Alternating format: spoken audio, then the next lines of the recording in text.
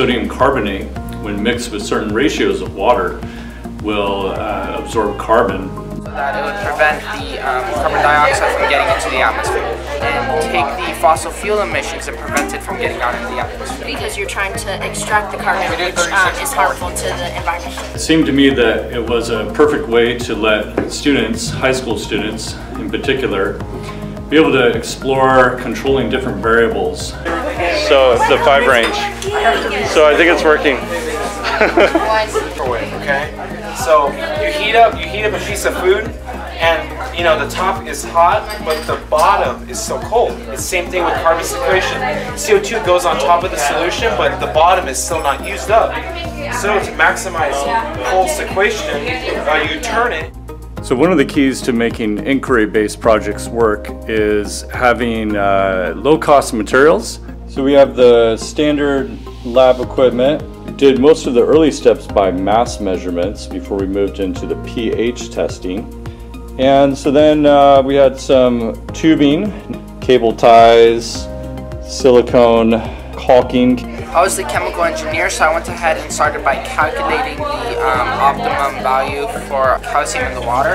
By varying different factors, students can explore how to optimize their design.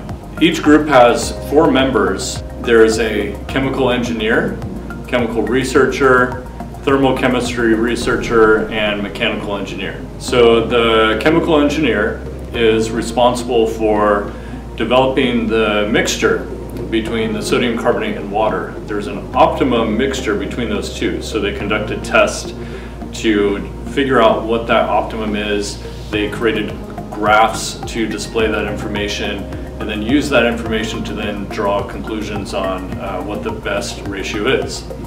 The chemical researcher worked on the measurement task of the, the carbon dioxide. Now, I know it might be easy enough to purchase some carbon dioxide meters. We didn't happen to have any, so we used the reaction of carbon dioxide with uh, water that makes carbonic acid. And we had pH meters on hand, so we measured the pH in order to find the carbon dioxide. One is after we put in the sequestration. Okay. So, So then the C is control, yeah. right? And then so do you see a color difference? Um, slightly. This one's like a darker orange. This one's a yellow orange. So that's good because you want this one, the control, to be darker. This one has more CO2 than this one. although that was kind of the harder way to do it, it ended up being a very uh, useful thing because it, it introduced concepts of acids and base. It allows students to explore this idea of a calibration curve. And we're going to see the color change. And what we've done to the wall, it's just uh, 20 milliliters of water indicator solution, and the, the color change is going to indicate whether it gets more acidic or basic based on how much carbon dioxide we put into it. The thermochemistry researcher was involved in thermodynamics of the reaction. So in order to optimize the reaction, there's an optimum temperature at which it happens. And so this allowed us to really explore the relationship of energy and activation energy and uh, many different variables and incorporate that into this project.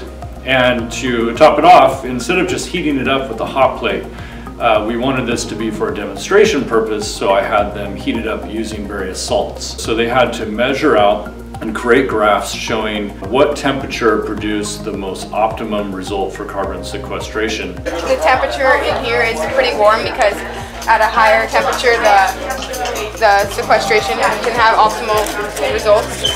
And what's under this is um, a liquid that is at about 70 degrees to make the process easier. Tubes over here so you put in your hot water to keep the, um, the, the whole thing warm and so you have foil the bottom to keep it warm. We heated it up by just having the natural heat of the Na2CO3 with water. And then the fourth job, the mechanical engineer, the primary job was to construct a device.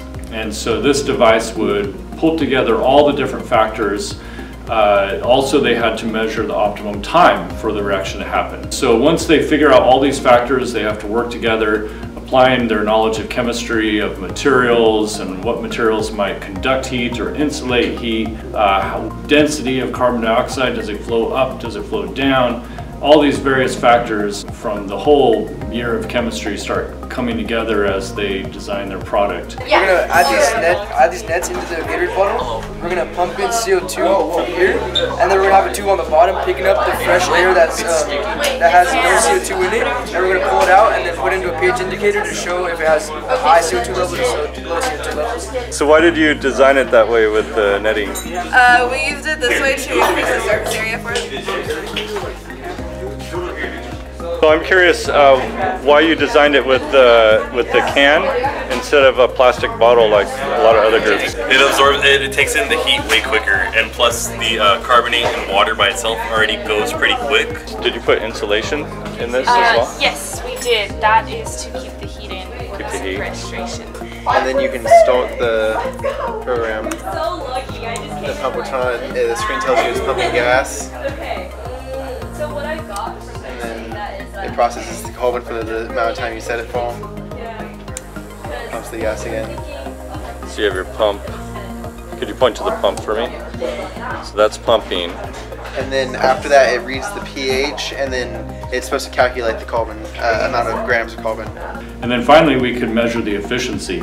So what we did is we had a, a control and a test or sequestered sample. And so they would run the control through their device, but not sequester it. And then they would pump it into a, to water so that we could measure the pH.